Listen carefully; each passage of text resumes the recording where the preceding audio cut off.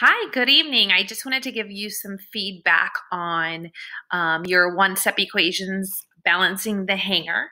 Um, so this one here, you can see that the triangle is here and we can see that the blue square is here.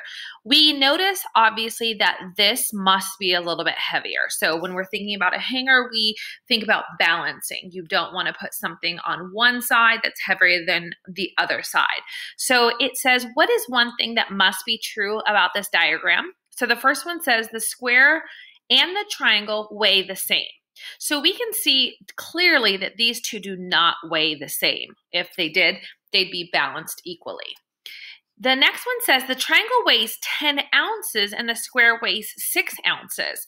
Now that was picked by a lot of students in here and that's why I actually created this video is because you do not see any weights on either one of these, the triangle or the square. So you really can't say, even though yes, I agree that the triangle does weigh more. You can't say that it's 10 ounces versus six ounces. So the correct answer is the triangle is heavier than the square. So that one is correct. Okay.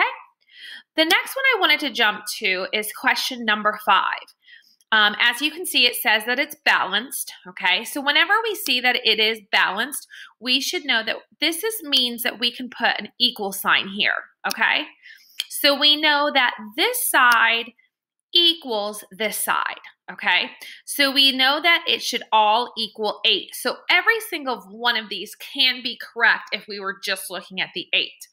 But remember, we need to talk about what this operation is here, okay? So we see that we have a 3 and we have an x, okay? So what we're going to be doing is we're just going to be putting it together, and the way that we put it together is by using um, addition. Okay, so the only one that makes sense is x plus 3 equals R8. Okay, the last one I wanted to go through because it was missed a lot was this one where we had to match each hanger diagram with the correct equation. So again, I'm going to go back and make sure that you understand that all of these mean equal, okay? Imagine that these are straight lines, of course, here on the equal. Okay, so we should know that all of them obviously equal six. Okay. Some are written with the expression on the left and the answer on the right. Um, but this one is the answers on the left and the expressions on the right. That actually does not make a huge difference, okay? Um, but for this one, it actually does. It should give us a hint that this one and this one are matched up together. So we see that this is six equals something plus one. And in this case, if we wanted to, we know that z would go in here. Okay?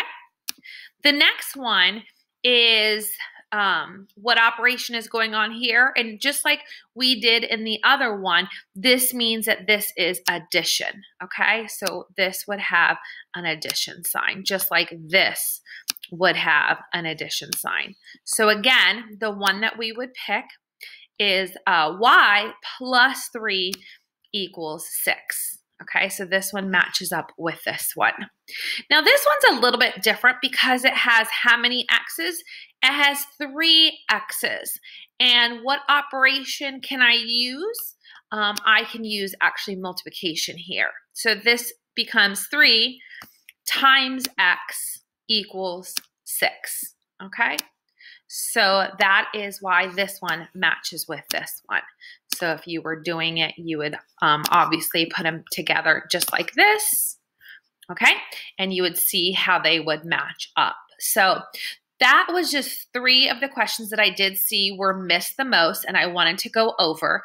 Um, please make sure that you go through this entire um, lesson. Okay, you should be answering all questions one through um, actually 13 and then 14 is obviously visiting uh, video. So you can see that. But that is the end of my video for tonight reviewing what you were supposed to do today.